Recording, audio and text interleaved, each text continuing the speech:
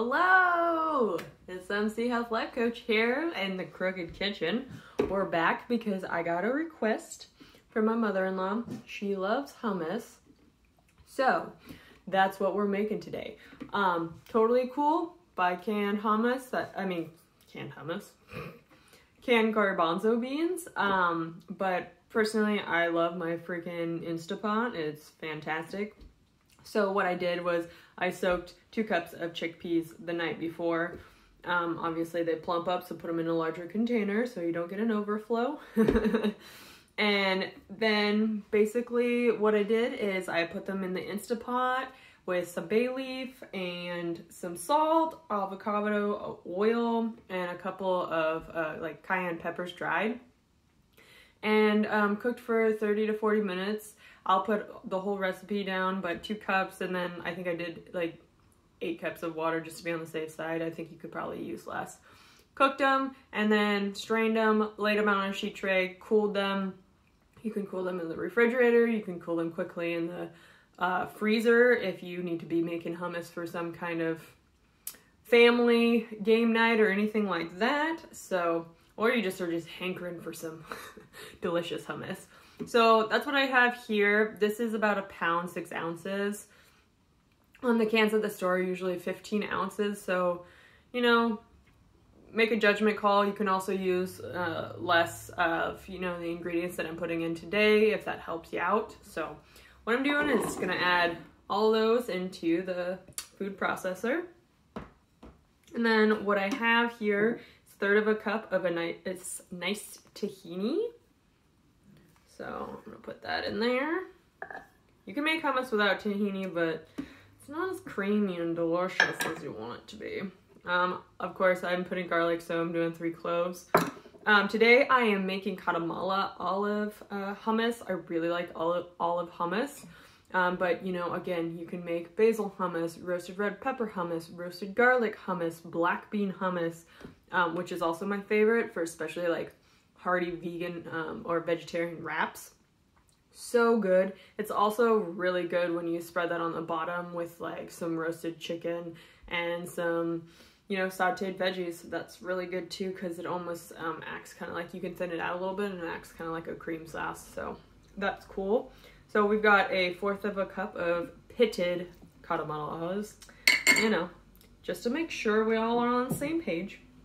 And then I am going to put juice of one full lemon. You might need more, you might need less. Depends on A, how much lemon you prefer. Um, I do love some citrus.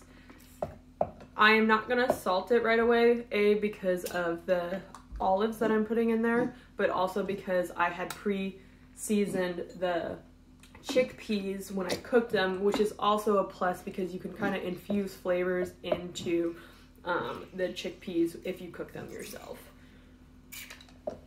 So we've got juice of one whole lemon. That's in there. And then I'm going to do a couple tablespoons of olive oil. Um, I always blend this first for several minutes before I add water if need be. I like a thicker hummus and then as I store it and then I can always thin it out as I go. So that's what we're gonna do. Blend it. We'll probably stop it and scrape the sides, but again, hummus is a great snack for kids and for you on the go. Um, just a reminder though, just to make sure, you know, like hummus is usually picked with, you know, tortilla chips or pita or some kind of bread, which is great if the bread is great, um, good and made with whole grains and everything like that. But just remember that like you're eating carb on top of carb, so just be aware of that and maybe mix it with, you know, eat it with scallions, be- bell peppers, broccoli. Um, I love broccoli and hummus, cauliflower. Uh, carrots, you know, anything like that, just make sure that you're trying to get in more of those nutrient dense veggies as well. Because chickpeas are a good source of fiber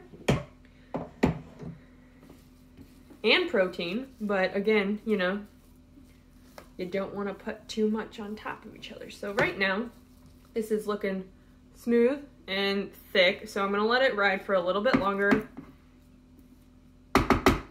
And then I'll probably put a couple tablespoons of water in there. But let's, and then we'll adjust the seasoning as well. Whoop! So I hope your day's going well. It's been sunny and, uh, you know, not too extremely hot, so that's kind of nice.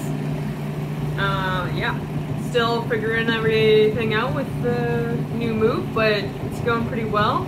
Uh, my sister, like, she had the smallest wedding ever uh, because of the whole COVID thing, but we had a nice little dinner in our backyard, so that was really wonderful and made it a little bit more special, I think. So that was kind of awesome. All right, let's check this out. Get my tasting spoon.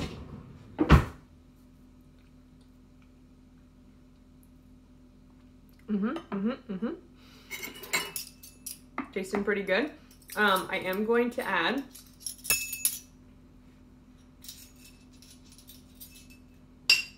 a half a teaspoon of salt.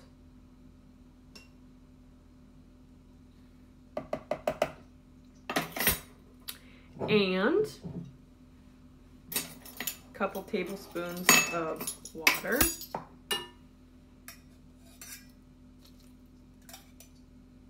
If you like it more garlicky, put more garlic in there. You can put fresh herbs, parsley, um, basil. You can do toasted pine nuts, cashews, um, all sorts of things.